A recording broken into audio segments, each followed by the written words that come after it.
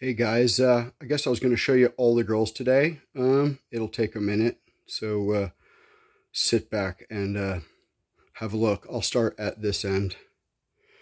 So that's an Norinco 84S5A, then a Norinco 84S3A, Norinco 84S.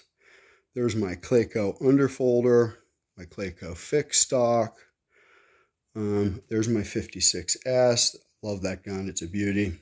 Um, then my Legend um, up top there is my Nazi um, new in box. I don't even put mags into that.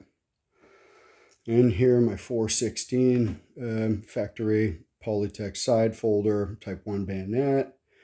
Next to that is the uh, one-to-one David King side folder spiker. Then my FTC Woodland Hills uh, double underfolder and Bakelite. Next to that, an FTC Woodland Hills Spiker, Bakelite. Then we've got an IACO 56S3.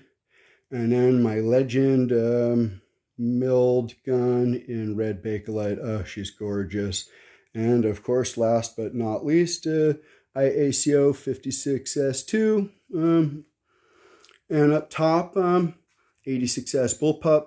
And there is my uh, Armco from Boylston, Massachusetts.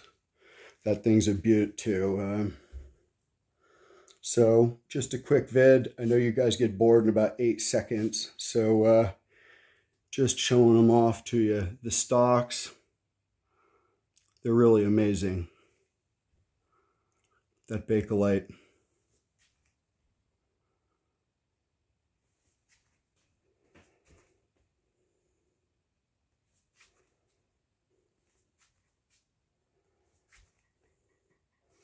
Thanks for checking them out. Uh, have a great day.